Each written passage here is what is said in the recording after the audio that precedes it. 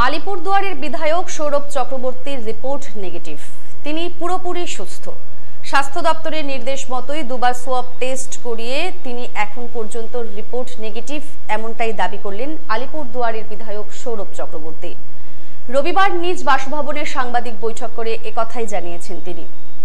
উল্লেখ্য, গত তেসরা মে দৈনিক এক পত্রিকাতে বিধায়ক সৌরভ চক্রবর্তী এবং স্বাস্থ্য দপ্তরের খবরকে কেন্দ্র করে চাপানুতর শুরু হয় জেলা জুড়ে।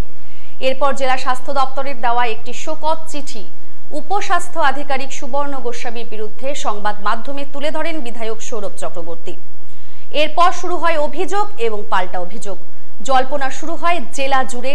চিকিৎসকদের কাজে হস্তক্ষেপ করছেন বিধায়ক সৌরভ চক্রবর্তী।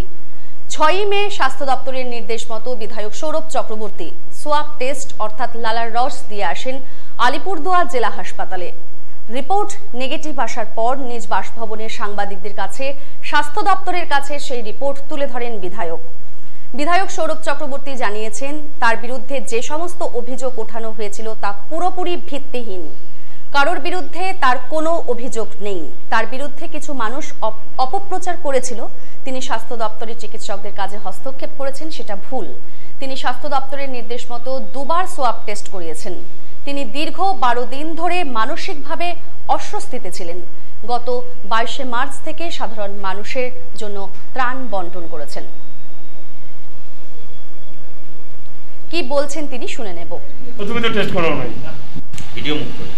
টেস্টের নেগেটিভ রিপোর্ট আমার বিরুদ্ধে ওঠা যত অপপ্রচার যত কুৎসা এবং যত অভিযোগ সব হয়েছিল সেই পরীক্ষাতে যে নেগেটিভ রিপোর্ট এসেছে সেটা আমি আপনাদের সামনে তুলে ধরে আপনাদের মাধ্যমে এর আমি জবাব গত বারো দিন ধরে আমি ভীষণ মনোকষ্টে আমি ছিলাম কিন্তু আমি আমার কারও বিরুদ্ধে কোনো অভিযোগ নেই। আমি চাই মানুষ ভালো থাকুক এবং সবচেয়ে ভালো থাকুক তারা যারা আমার বিরুদ্ধে অভিযোগ করে এই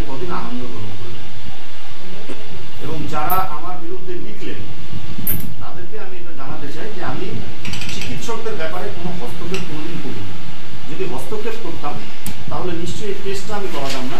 আর এই টেস্টটা আমার দুবার হয়েছে এটা আমি আপনাদের জানাই। ছ তারিখে আমি টেস্ট করেছি সেই রিপোর্ট কিন্তু আসার আগে আরেকবার আমার টেস্ট করা হয়েছে। এবং যেভাবে চিকিৎসকরা আমাকে গাইড করেছেন, আমি তাদের কোনো ব্যাপারে কোথাও হস্তক্ষেপ করি I am being the chairman of Alipurduar district মানে R K S Alipurduar district hospital রবিকল্যাণ সমিতির চেয়ারম্যান আমাকে ডে টু ডে আলিপুরদুয়ার হাসপাতালে ভালো মন্দ দেখতেই হবে।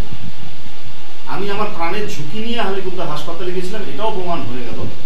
কারণ যেভাবে আমি সুপারের সাথে কথা বলা বা আমি আমাকে যেভাবে বলা হচ্ছে বিভিন্নভাবে এটাও কিন্তু আমার একটা অগ্নি পরীক্ষা হয়ে গেল যে আমি কিন্তু মৃত্যু ভয় পাইনি। আমি এই কোভিডের মধ্যেও আছে, থাকতে পারে। ঠিক আছে? সেরকম আমার মাথায় কিন্তু এটা না আসার কথা নয়। আমি যেহেতু জেলা হাসপাতালের চেয়ারম্যান যে কোনো পেশেন্ট আসতে পারে কোভিডও আসতে পারে। কিন্তু আমি কিন্তু আমার মৃত্যু ভয়কে উপেক্ষা করে মানুষের স্বার্থে আমি কাজ করার জন্যই জেলা হাসপাতালে গেছিলাম। আবার যাব। মানুষকে ত্রাণ দিয়েছি বাইশে মার্চ থেকে এবং কন্টিনিউয়াস দিয়ে গেছি। আমি কিন্তু কোথাও দেখিনি যে কে কোন পার্টি করে। সমস্ত মানুষকে দিয়েছি।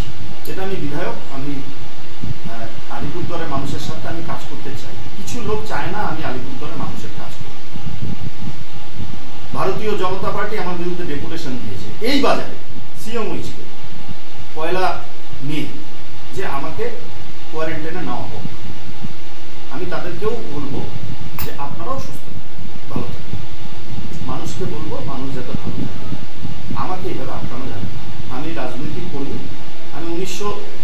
সাল থেকে ছাত্র আন্দোলন করতে করতে এখানে এসেছি। এবং আমার লড়াই আমি রাখব। আমি আপনাদের সবাইকে শুধু